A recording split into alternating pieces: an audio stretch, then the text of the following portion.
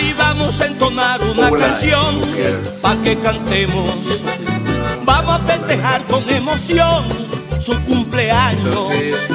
Vamos a decirle con amor que la felicitamos y que siga cumpliendo muchos más. Que la Virgen la tiene que cuidar, que de mi parte nada en la vida le faltará.